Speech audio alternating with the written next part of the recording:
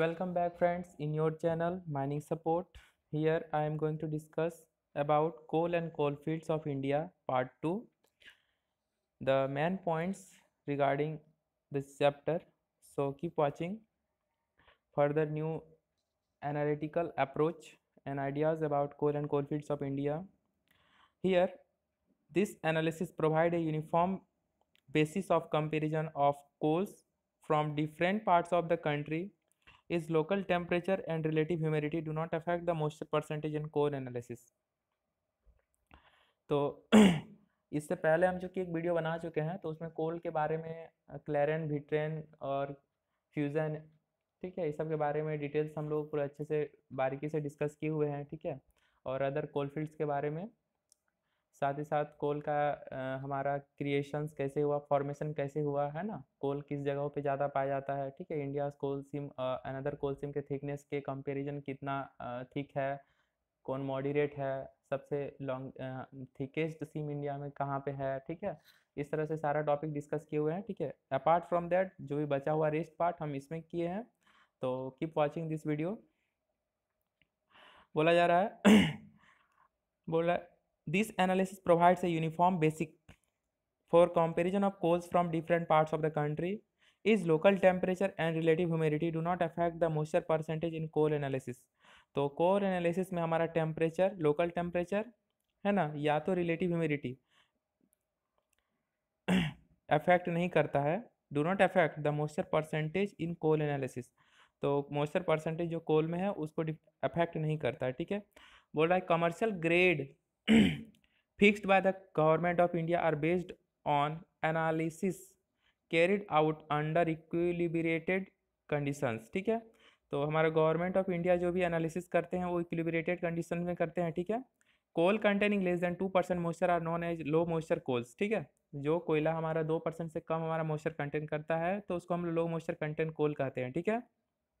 मतलब ऐसा कोल जो two percent two percent below हमारा मॉइस्चर कंटेंट करता है तो उसको हम लोग लो मॉइस्चर कोल कहते हैं, ठीक है? If moisture is more than two percent it is high moisture coal तो इसमें हमको एक ही पॉइंट पढ़ना है कि हमको लो कं लो मॉइस्चर कोल किसे कहते हैं और हाई मॉइस्चर कोल किसे कहते हैं? तो लो मॉइस्चर कोल इसे कहते हैं जिस, जो हमारा मॉइस्चर दो परसेंट से कम कंटेन करे, वो हमारा लो मॉइस्चर कोल हो गया। लेकिन जो कोल हमारा दो परसेंट से ज़्यादा मॉइस्चर कंटेन करे, वो हमारा हाई मॉइस्चर कोल हो गया। बस यही तो सीखना है।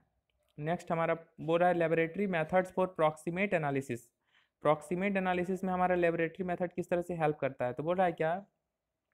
To get a representative sample for analysis or other test in a laboratory ठीक है? To get a representative sample for analysis or other test in a laboratory हमको लेबोरेटरी में कोई टेस्ट का एनालिसिस करना है, ठीक है? तो उस केस में हमारा क्या है ना लेबोरेटरी मेथड जो प्रॉक्सीमेट एनालिसिस हमारा चार टाइप से है, ठीक है? तो चार टाइप में सेकंड टाइप हमारा क्या है? लेबोरेटरी मेथड एनालिसिस ठीक है? Laboratory method for proximate analysis तो उसके में बोल रहा है कि to get the representative sample for analysis or other test in the laboratory the collected sample in subjected to the process of crushing coning and quartering तो हम लोग क्या, कोई भी चीज़ को हम लोग जो सैंपल लेके आते हैं ना तो उसको हम लोग प्रोसेस करते हैं। या तो क्रसिंग करके कोनिंग मेथड से और क्वार्टरिंग मेथड से उसको हम कम करते हैं, ठीक है? बोल रहा है क्या? This operations are repeated two or three times to get the laboratory sample ठीक है? लेबोरेटरी सैंपल को लेने के लिए हम एक प्रोसेस को दो से तीन बार कैरी करते हैं, ठीक है? Usually fifty grams which are which can pass through I S twenty sieve ठीक है? तो हम लोग यूजुअली फिफ्टी ग्राम्स मतलब कोई भी सैंपल हम लोग लेते हैं लेबोरेटरी टेस्ट के लिए तो हमारा फिफ्टी ग्राम्स से अधिक नहीं लेते हैं, ठीक है?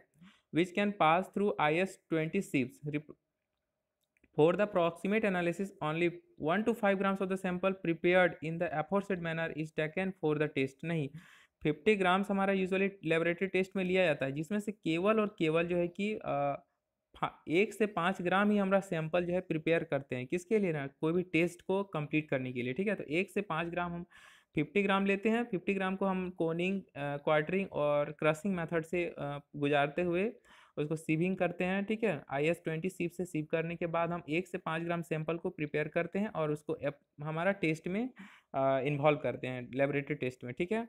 नेक्स्ट हमारा कहा जा रहा है क्या? Point moisture and volatile matter presented of percentage of Vm is calculated after determining moisture percentage. Separately at stated here. As percentage determined after heating as percentage कैसे determine किया जाएगा? कहा जा रहा है ना as percentage determined after heating a sample of coal in an open silica dish. ठीक है? As percentage को हम लोग कैलकुलेट करते हैं कैसे? उसको हीटिंग करते हैं कि, ठीक है is determined after heating a sample of coal in an open silica disc open silica disc में हम करते हैं, ठीक है? कोई भी कोयला को सिलिका डिस्क में हम लोग ओपन हीट करते हैं, ठीक है? In a well ventilated muffle furnace to nearly 815 degree Celsius still the weight remain constant ठीक है? वेट कांस्टेंट रहेगा, लेकिन 815 डिग्री सेल्सियस में उसको हीट करते हैं। बोला था inorganic residue left on the disc is ash और जो भी इनऑर्गेनिक रेसिड्यू जो है बच जाता है, ठीक है? मैंने अवशेष बच जाता है, उसको हम लोग एस कहते हैं, ठीक है? Percentage of fix carbon is obtained by subtracting from hundred the total percentage of ash next हमारा कहा जा रहा है क्या? The inorganic residue left on the disc is ash percentage of fixed carbon is obtained by subtracting from fixed carbon को calculate करते कैसे करते हैं ना? Subtracting from hundred, the total percentage of ash V M the mineral matter equals to one point one into ash percentage. कोई भी mineral matter हमारा किसके किसके बराबर होता है? One point one times ash percentage. जो भी एस परसेंटेज हमारा हंड्रेड में से सब्ट्रैक्ट करने के बाद जो बच जाता है, हमारा एस परसेंटेज होता है, ठीक है? रहा था percentage of fixed iron is obtained by subtracting from hundred the total percentage of ash. Total percentage हमारा एस जितना है वो हंड्रेड में से सब्ट्रैक्ट करने के बाद जो हमारा बचता है वो हमारा फिक्स्ड कार्बन होता है ठीक है? और most the mineral matter is equals to और मिनरल मैटर कितना के बराबर होता है? One point one times ash percentage. और एस परसेंटेज कितना है उसको वन पॉइंट वन से इंटू करने पर हमारा आ, क्या निकलता है? मिनरल मैटर निकलता है ठीक है? नेक्स्ट हमारा बोल है grades of coking and non coking coal. Coking या तो नॉन कोकिंग कोल का ग्रेड्स क्या है? बोला existing grades of coals were formulated by the government of India in July 1979 तो कोई भी कोल हमारा जो है, उसको फॉर्मुलेटेड किया गया है, ठीक है जुलाई 99 में सेवन नाइनटीन सेवेंटी नाइन में, ठीक है?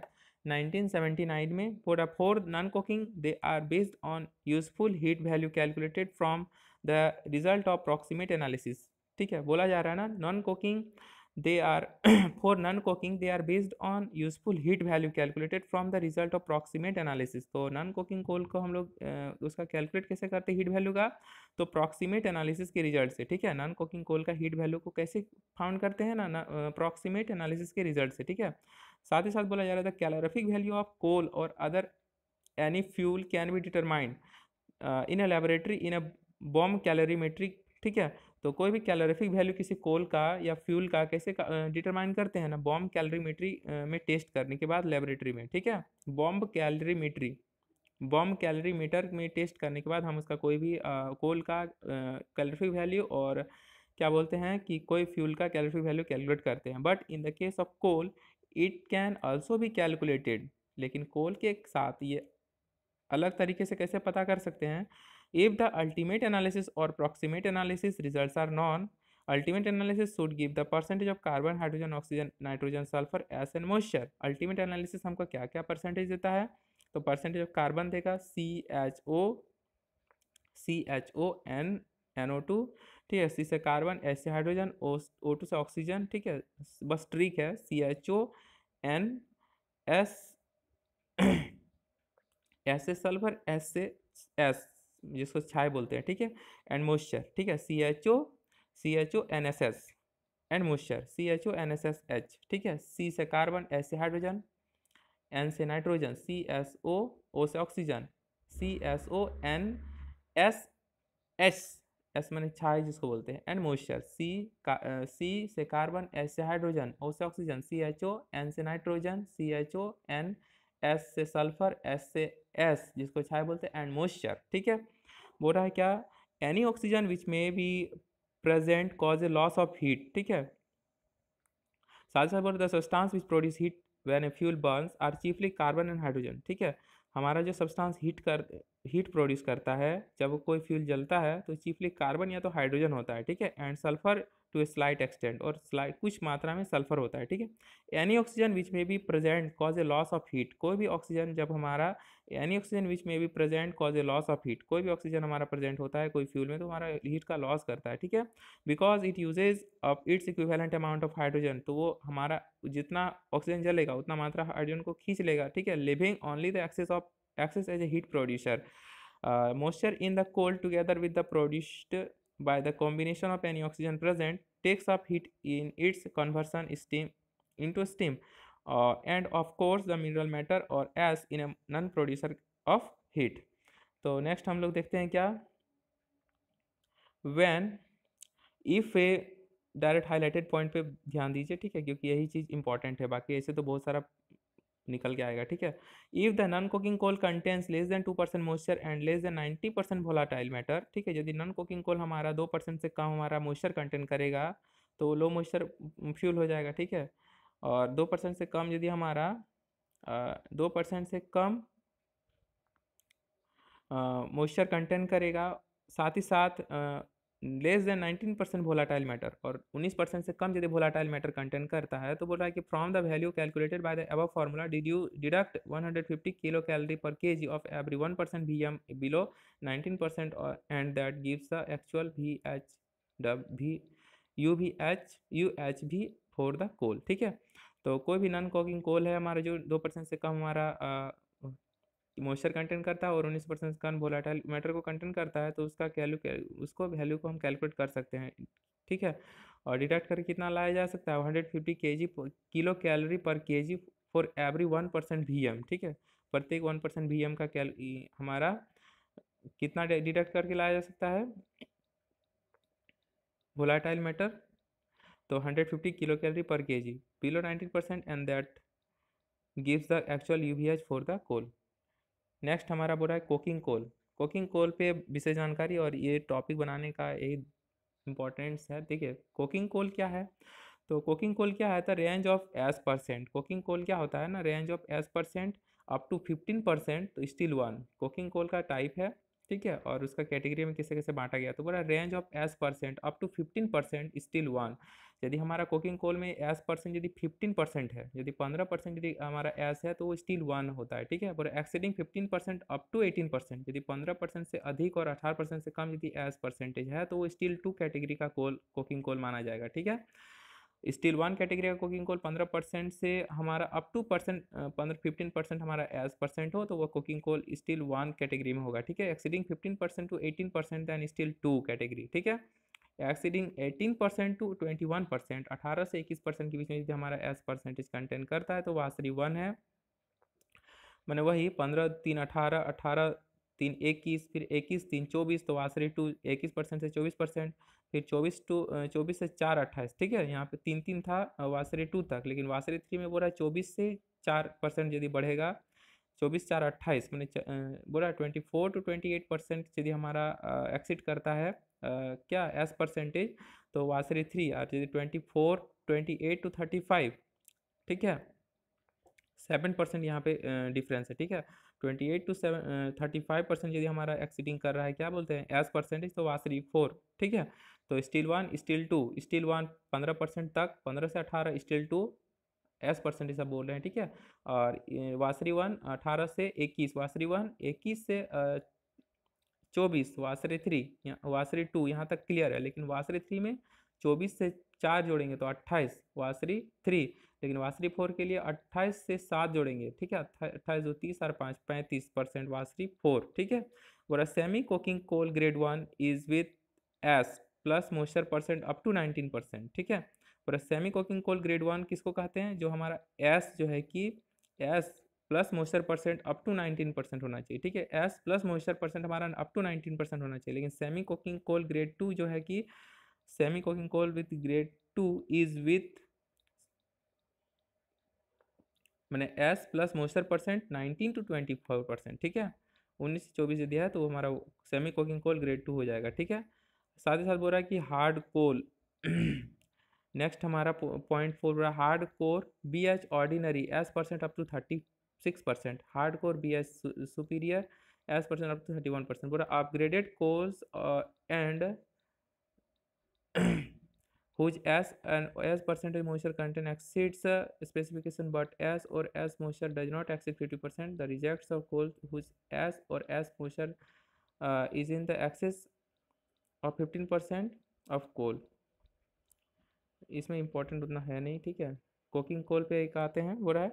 Coking coal some type of coal when heated in the absence of air to a temperature above six hundred degree Celsius from a solid porous residue called coke तो coke किसे कहते हैं? मैंने ऐसा type of कोल जो heat करते हैं absence of air up to a temperature above 600 degree Celsius मैंने 600 डिग्री सेल्सियस से अधिक ताप में यदि किसी कोल को इन एबसेंस ऑफ़ एयर जलाते हैं, ठीक है हीट करते हैं तो हमारा सेम कोकिंग कोल बनता है, ठीक है?